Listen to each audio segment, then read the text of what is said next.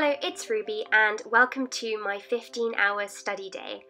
This is the longest study with me that I have ever filmed, and I want to first of all just quickly point out that I do not do 15 hours of studying every day.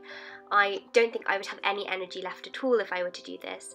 Usually, if I'm not doing anything else that day, I will do 10 to 12 hours of work, and this isn't always homework, sometimes I like to do extension projects and things. So I started off my study session today by doing a philosophy essay, and this was one that I had actually planned the night before.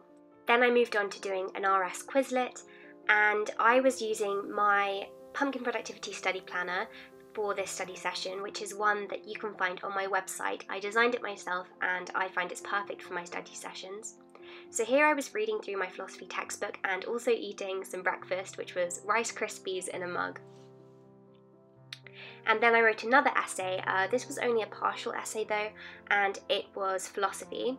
Um, I decided not to do the whole essay. I missed out the last two paragraphs because they were paragraphs that I was quite confident on, and I knew that the first three were ones that I was going to struggle with the most. So I thought it was the most productive use of my time and then I got to tick it off my to-do list. So here I was using my new Cath Kidston Peter Pan notebook, which I got for Christmas, and I love it so much. And I just went through and wrote out the points and facts for ethics, which I had been struggling to remember. So when I do essay plans or essays or mind maps, in blue I will write the things that I had to refer to my notes to remember and so I just decided to write them all up in one place and this clip is actually cut short so I ended up filling the whole page but you only see me finishing half of the page. For some reason the other clip got corrupted.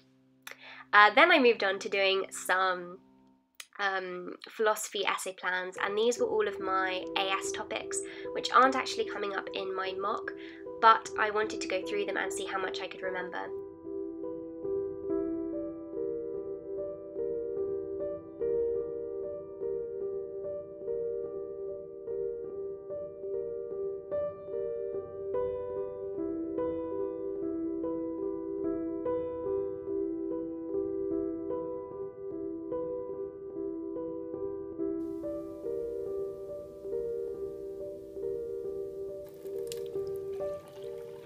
So then I went and got myself some water because it's really important to stay hydrated when you are studying, otherwise, you will find yourself getting rather unproductive. Then I moved on to writing another philosophy essay. This morning's revision really did focus on religious studies, and this was actually only the introduction to an essay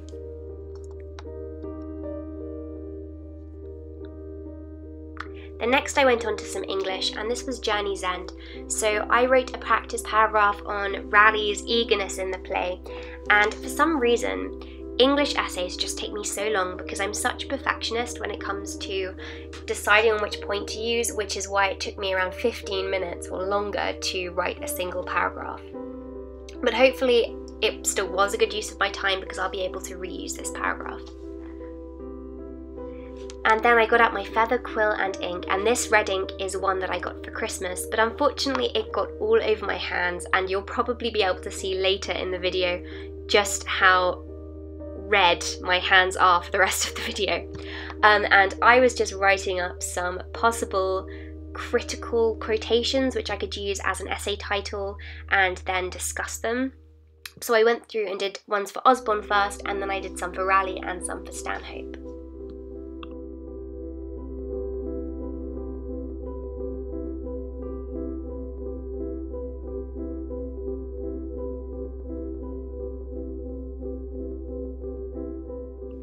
Next, I just wrote out a list of all of the Winter's Tale quotations I wanted to learn ready for my exam.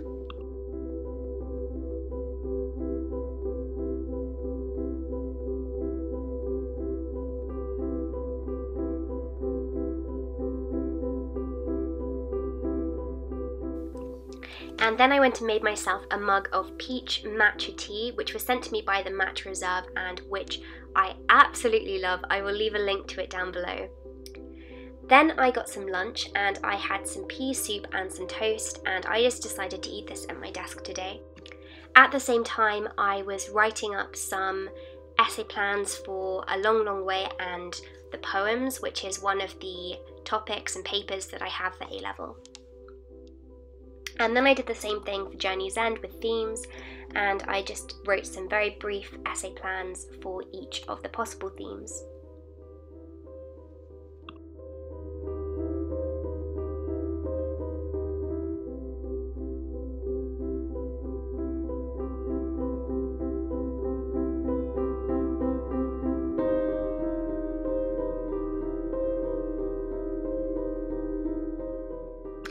Then I decided to have a short break just because I was feeling quite drained after that, and this is something that I needed to do anyway. I just refined our family shopping list, which we use every week, and I'm going to laminate this and put it up so that we can highlight the things which we no longer have in the fridge, and it's a really great system. I recommend doing it. And then, as an extended break, because I was feeling like organising something, I decided to go through my wardrobe I was just transferring my toiletries into these two Harry Potter potions crates which I received for Christmas.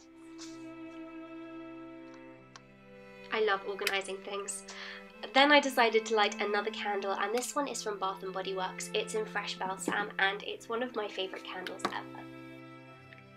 Then I did some more Barry and poems work and I just wrote out one introduction. Uh, this was a, I like to write out possible introductions for each of the themes and this one was on views of and from home. Next, I decided to write an English essay, and this was again on Barry and the poems.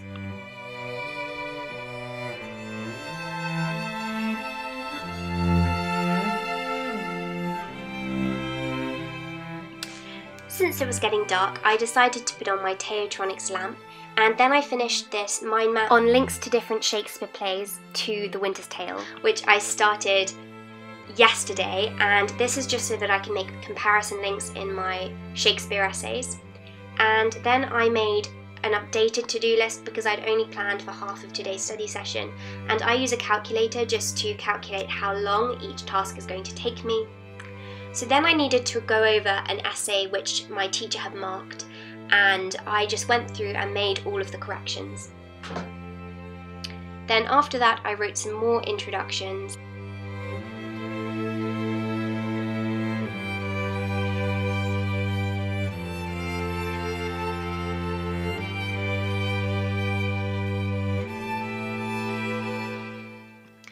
once again, here is a clip of my fairy lights. I just love these copper lights. Then I went through uh, Key, Barry, points that I could discuss and I just made some headings and then I went through my notes and I added to these so that I had a few key moments which I could talk about in essays. And I thought this was a really good use of my time. Then I decided to make some chapter by chapter summaries for a long, long way and I started doing this but then halfway through I realised that there was a document online which had basically exactly the same information that I wanted. So instead of making my own, I decided to just use this. Usually my study sessions are broken out evenly into chemistry, English and RS, but today it focused primarily on English and RS. So here I decided to do some chemistry revision and I just went through the four mechanisms, organic mechanisms, which I struggle with the most and I just practiced these. I got all of them right apart from the last one, so I just practiced that again. And then I decided to make my to-do list for tomorrow, which I always like to do on the night before because it means that I feel more productive the next day. And just to finish my study session, I went through my bond angles for chemistry because this is something I think is useful just to go over frequently. So thank you so much for watching. I hope that you enjoyed this video. I hope that it's able to give you some motivation for studying yourself. Thank you again and have a productive week.